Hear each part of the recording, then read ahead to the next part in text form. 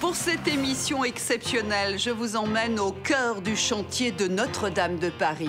Vous y vivrez la fin du démontage spectaculaire de l'échafaudage et la dépose de l'orgue recouvert de poussière de plomb. La cathédrale est toujours en état de péril, mais notre architecte est actif. À Chartres, la cathédrale gothique est un magnifique exemple de restauration réussie. Elle a retrouvé sa blancheur et la beauté de ses vitraux.